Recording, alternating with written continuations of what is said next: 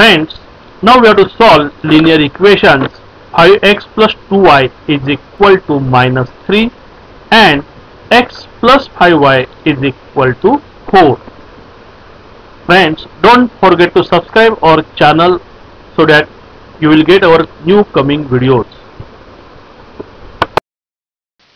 Friends, we have to solve two linear equations simultaneously.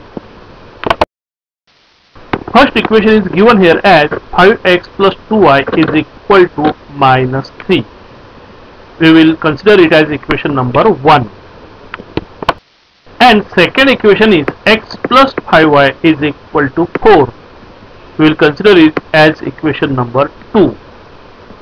Now we have to solve these two linear equations simultaneously and so we want at least coefficients of one of the variable equal.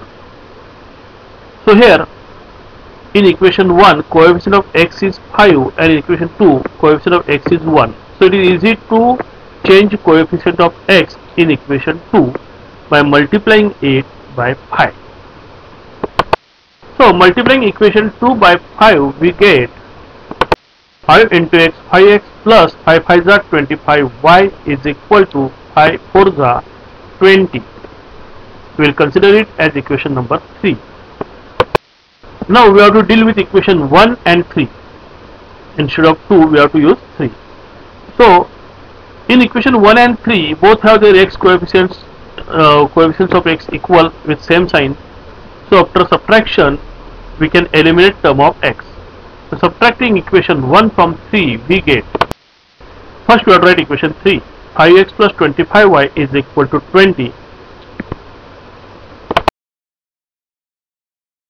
minus equation 1 5x plus 2y is equal to minus 3 we have to do subtraction here and subtracting these terms we get 5x 5x cancel each other means term of x eliminate.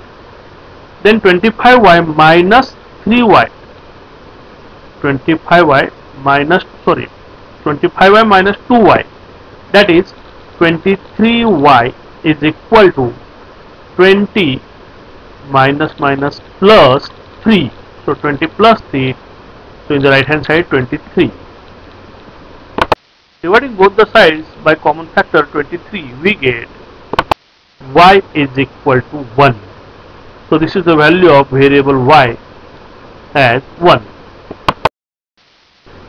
now substituting this value y is equal to 1 in equation 2 we get